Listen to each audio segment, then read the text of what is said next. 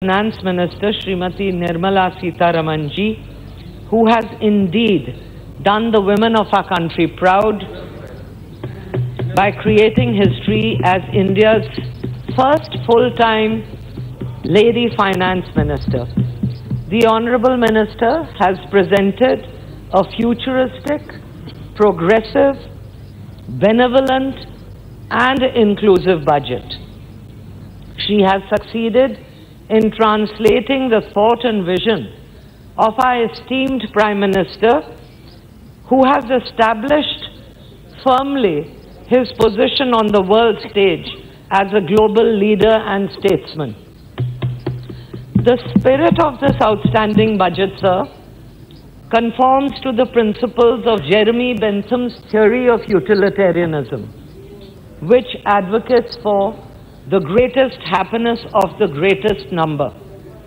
And this thought has clearly been reflected in the Prime Minister's slogan of Sabka Saath, Sabka Vikas, Sabka Vishwas in order to create a new India. So it is only in the Modi era, post 2014, that the government has actually started fulfilling its role, as was envisaged in the preamble of our constitution as a sovereign socialist de uh, secular democratic republic. It is also in the Modi era that the government has started seriously fulfilling its obligations as a welfare state by protecting and promoting the socio-economic well-being of our citizens based on the principles of equality and social justice. At the same time, continuing to be the world's fastest growing economy. So after this, I'd like to come down to the demand for grants. Our country is in a period of transition and is experiencing a paradigm shift. The railway budget is totally in sync with the new India vision. It is estimated that the railway infrastructure would need an investment of 50 lakh crores between 2018 and 30. Given that the capital, capital expenditure outlays of railway are around 1.5 to 1.6 lakh crores per annum.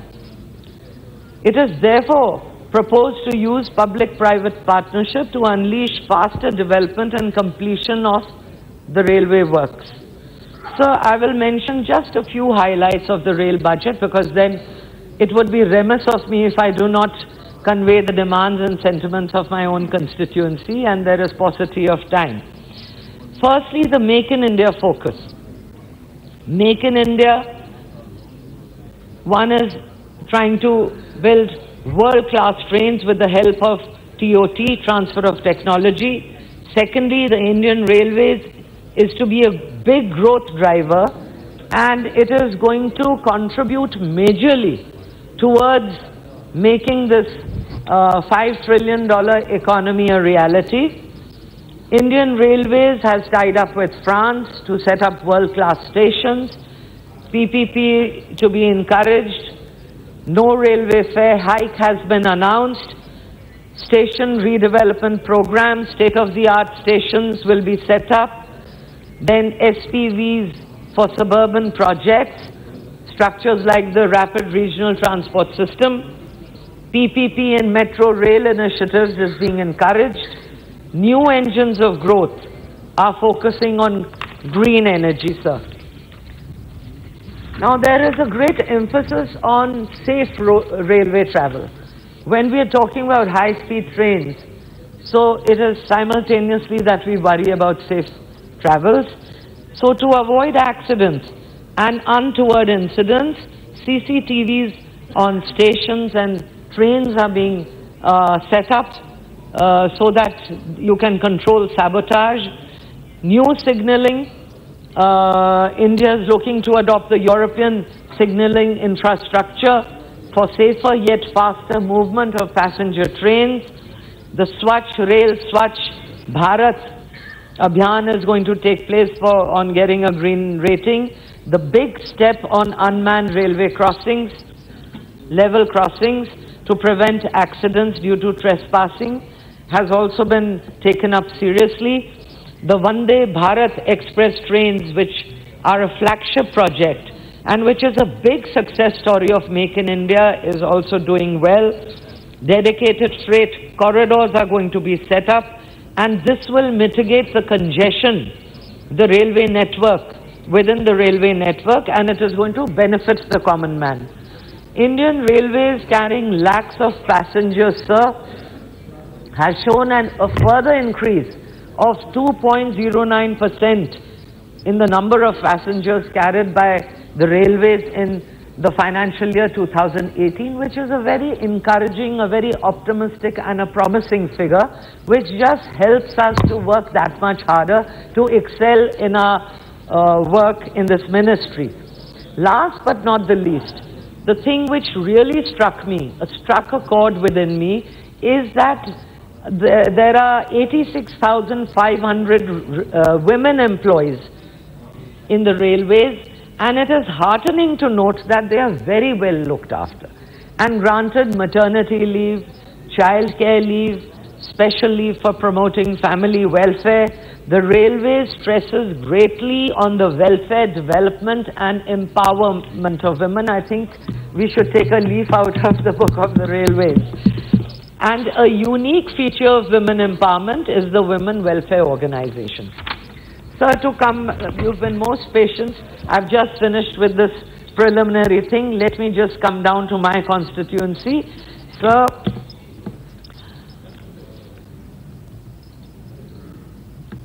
coming to Orissa, I would like to wholeheartedly thank our dynamic, tenacious, committed Honorable Minister of Railways, Shri Piyush Goyal, who is a man with tremendous foresight and he works relentlessly to spearhead the Ministry of Railways into the new India era. He has been benevolent to the state of Orissa and I want to thank him from the bottom of my heart. I just want to bring, uh, elicit a few points, uh, elucidate a few points here. Since 19, since 2014, sir, rupees 20,213 crores was earmarked in the railways budgetary allocation for Orissa, which is a whopping five-fold increase over the budgetary allocation of 4190 during the UPA government.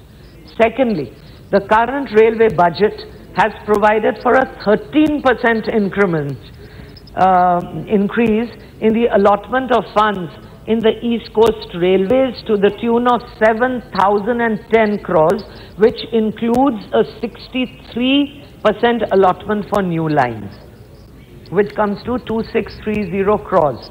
So, an 118% uh, increase in allotment for passenger amenities to the tune of 182 crores. New railway lines are being constructed in Odisha at 29 kilometers per year from 2014 and 18 as opposed to the 10 kilometers per year which were uh, being done during the tenure 2004 to 2014 before the Modi era. Doubling work has gone up to 83 kilometers per year in 2014-18 in comparison uh, Honorable to member, 16 please. kilometers Please conclude your. Uh, so I just want a few minutes. So it's my maiden speech. So Go please go be ahead. kind to me. In this session, Sanjay, be a Please little address kind. the chair. Yeah. I thought you were a gentleman. So, uh, doubling work has gone uh, up to 83 kilometers per year in 2014-18 in comparison to 16 kilometers which was being done during the UPA tenure. Electrification of lines in Odisha has increased by 110 kilometers per year in comparison to 35 kilometers which was being done during the 2004 and 14 period. This comparison, comparison sir, is self-explanatory that which government has the inclination and the will to work for the people.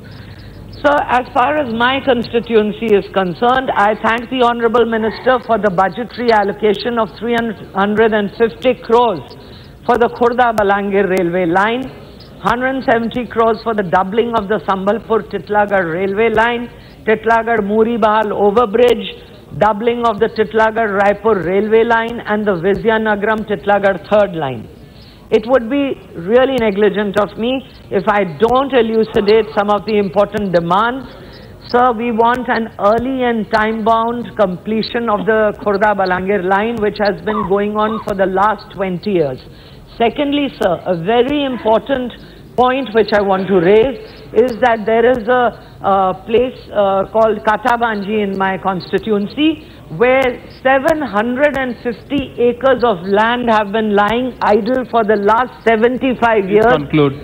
and no ancillary unit or uh, wagon maintenance workshop has been set up there. Bolangir parliamentary Shri parliament Rampreet Mandal ji. constituency, sir, ek minute, sir, ek minute, please, is a no industry district and we would love for the honorable minister to uh, be benevolent and set up something here. A memu rake maintenance facility could be established there.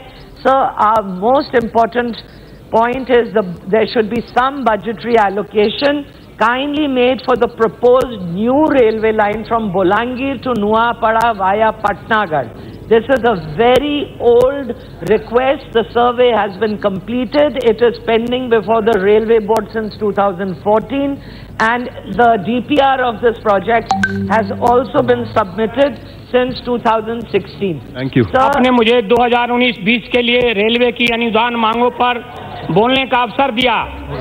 इसका आपका मैं आभार प्रकट करता हूँ।